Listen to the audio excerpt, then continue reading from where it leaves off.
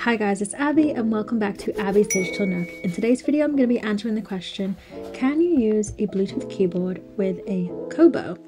The answer is yes, and I'm going to show you all the different ways that you can use a Bluetooth keyboard. So you might be wondering why I would want to connect a Bluetooth keyboard, and I will show you in today's video. So I'm, first I'm going to show you how to connect it. So hit more, then hit settings, and then hit Bluetooth connection, and then make sure your keyboard is in pairing mode and turn Bluetooth on. And then it should show up in your saved devices or it should show up in devices to be paired. So you're going to select it and then hit confirm Bluetooth connection. Once you're connected, then you should be able to use your keyboard for all kinds of things. So the first thing that I think is really fun way to use it is inside of a book.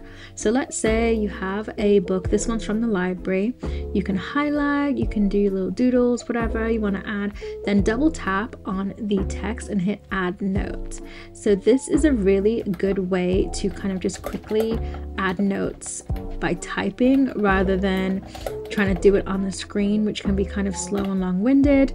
And you can kind of just type out everything that you want to say that's related to the highlight and hit save.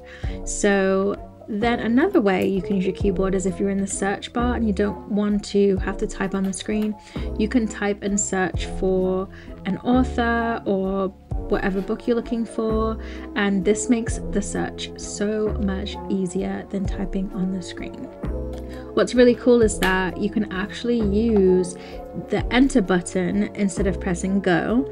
And then when the page loads up, you can actually use the arrow keys, the up and down, to kind of scroll through your page. Even though there are buttons on the on the Kobo you can tap, but if you're just already on the keyboard, you can use up and down to kind of navigate through the pages as well.